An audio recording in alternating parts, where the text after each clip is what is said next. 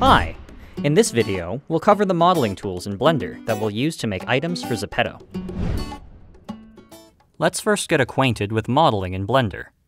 I'll use the default cube that comes with the Blender scene. I'll delete the camera and the light to get them out of the way.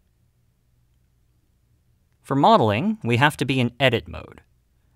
Make sure the cube is selected, and switch to Edit mode. All the components of the cube should be selected. 3D mesh objects, like this cube, are composed of three components, vertices, edges, and faces. We can switch between component type selection up here with these UI buttons.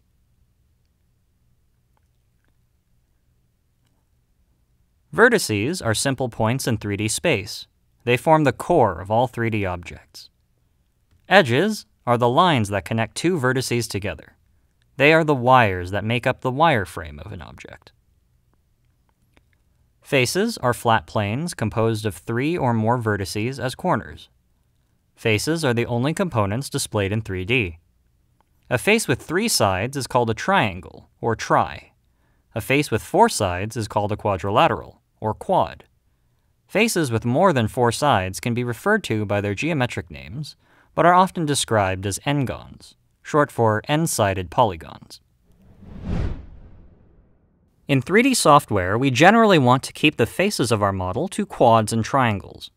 At a core level of any 3D application, anything displayed as a 3D object is reduced to a collection of triangular faces. Modeling with quads and triangles allows us, the artist, to define how these triangles are arranged on the model. Otherwise, a computer is left to make an interpretation on how to turn an n-gon into a set of triangles, which can be chaotic. The basics of modeling begin with selecting and moving parts of the mesh. If we select all vertices by pressing A, we can move, rotate, and scale the cube like we would in object mode. We can select individual components and move them as well. If we shift select, we add to our selection. Shift select an already selected component to deselect. To select a whole loop of vertices, edges, or faces, we can use the Alt key while clicking along the loop we'd like to select. We can use box selection to select multiple components. Box selection doesn't select components that are blocked behind components closer to our view. To box select through an object, we can toggle X-ray mode with this double squares button here. This mode allows us to select components through an object. Aside from manipulating the vertices, edges, and faces we're given, we may want to extend our object. To do this, we can use the Extrude tool, either found as a gizmo-based tool here in the left toolbar, or by using the hotkey E. Going into face selection, Selecting the top face and using the Extrude Region tool from the toolbar, we can drag the plus-shaped gizmo to extrude this face. Extrusion behaves differently with different components. If we select an edge and extrude, it will only create a new plane. If we extrude a vertex, I'll use the hotkey here, a new line is created. To add detail within the model, we can use the Loop Cut tool to add additional ring loops. We can either use the Loop Cut tool here in the toolbar, or the hotkey Ctrl-R. Using the Toolbar tool, you can see a highlighted line as we hover the mouse over a face of the model. Clicking will insert an edge cut in the highlighted area. Going back to box selection and using the hotkey Ctrl-R, you'll see a similar highlight. Using the scroll wheel, we can increase or decrease the amount of cuts that will be made. Left-clicking will confirm the amount of cuts to be made, and we'll enter Edge Slide mode. We'll have the ability to edge slide our newly created edges between their bounding edges, with another left-click confirming their placement. If you don't wish to slide the line, right-clicking will set the line at zero. The knife tool, accessible from the left toolbar or with the K key, is a tool that lets us cut new edges and vertices along pre-existing geometry. As we make cuts, the preview of the new geometry is highlighted in purple. Cuts are made relative to our view of the mesh. Right-click is used to start a new cut. To confirm the cut operations, use the spacebar, and the cuts will be applied to the mesh. To cancel the cut operation, use the Escape key. Now that we've learned to create, we can learn to destroy. If we select a component to delete and hit X or Delete, we can find a menu of deletion options. Operations that say delete will remove that component and leave a gap in the model. Vertex deletion can be very powerful, but can sometimes delete more than you expect to. Keep undo handy. Operations that say dissolve will attempt to remove the component while keeping the rest of the model intact. Edge dissolve is very useful for removing edge loops. Another tool in the toolbox is to merge vertices together. We can do this by selecting two vertices and using the Mesh Merge menu or the M key. We can select one of the options in this menu to merge the two points together.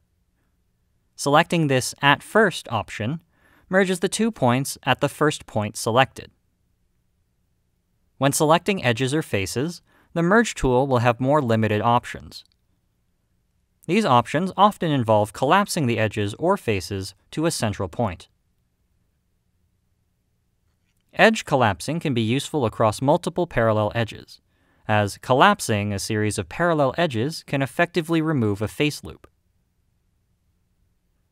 Merging is a very useful operation for bringing separate components together or improving the flow of the edges in your model. To patch up holes in our model, we can use the fill operation. By selecting two like components and hitting the F key, the two components become connected by a new set of edges or faces. Stick to using fill with either vertices or edges. Using the fill operation with faces can be unpredictable. Sometimes while modeling, making small changes across many nearby vertices to make smooth-looking surfaces can be time-consuming. If we select this circular icon, we can turn on proportional editing. Proportional editing will make a move, rotate, or scale operation pull nearby vertices with it. The radius for affected components is shown by a white circle while the object is being transformed. This circle can be changed with the scroll wheel during the transform operation.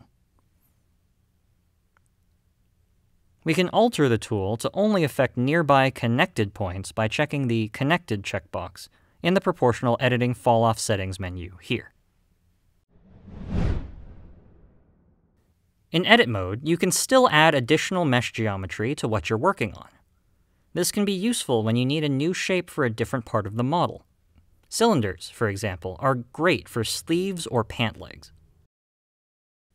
By adding another mesh in what you're working on, you can use the geometry you want for different pieces of your clothing item and connect them together later. This lets you focus on working on the general form of the object without getting caught up in the cleanliness of your mesh's geometry.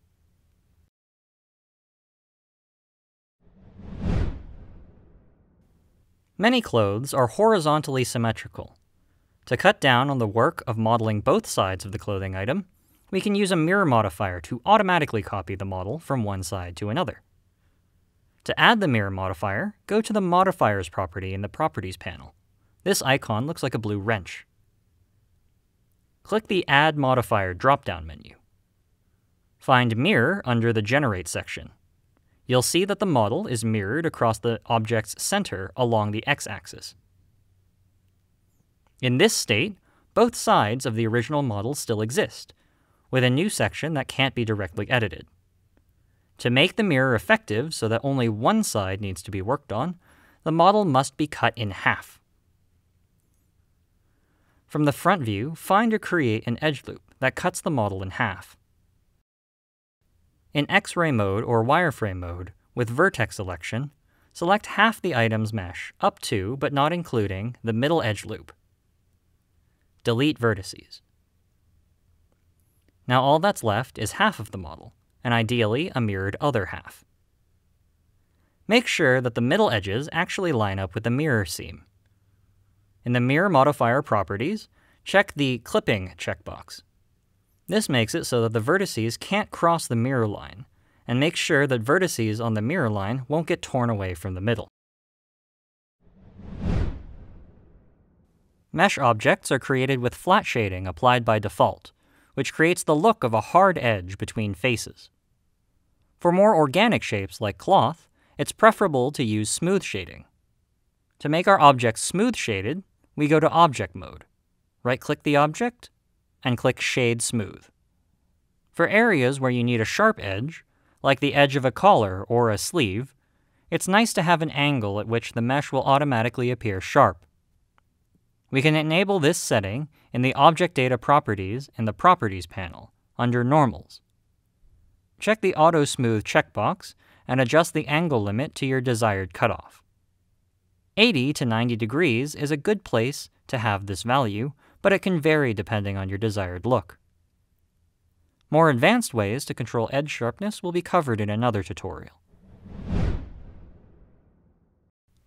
To make an item for a Zepeto avatar, it's important to have something to reference the size and proportion of the character. For that, we'll use the Creator base set file that we can find on the Zepeto Studio Guide website. After downloading the file, we need to import it into our Blender scene.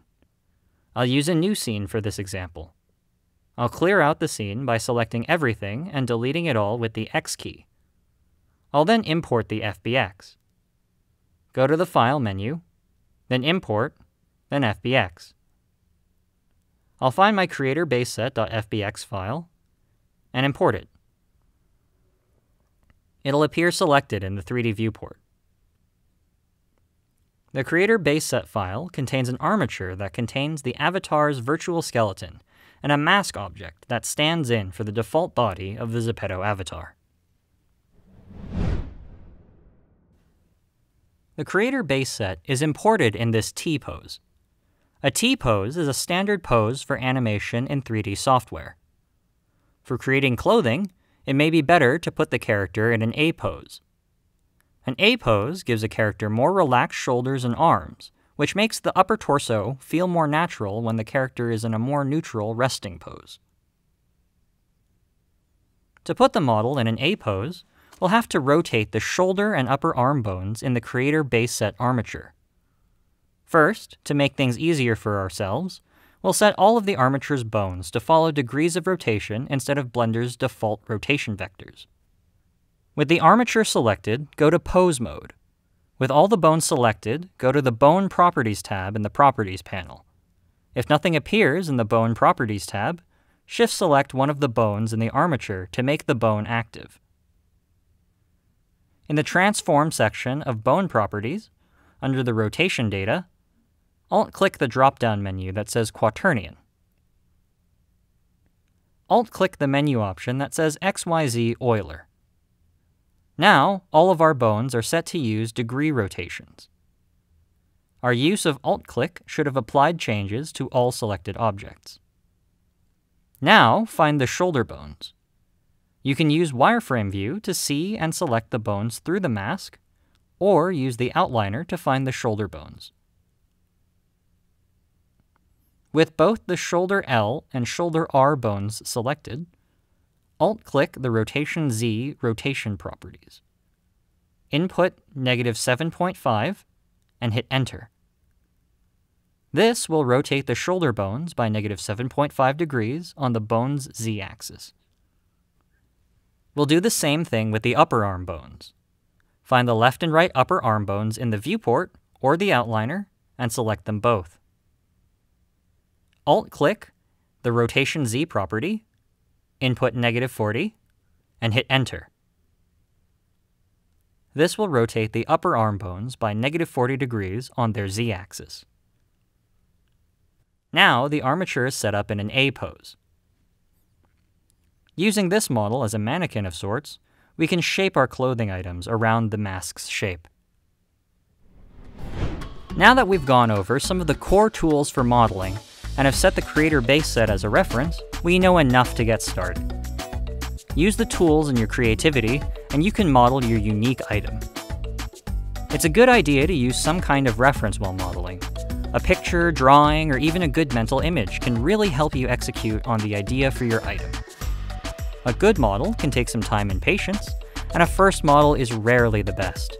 Keep trying and you'll see your own progress. Remember to save regularly. Crashes are always unexpected, and it feels pretty bad to lose a lot of progress. Good luck and happy modeling!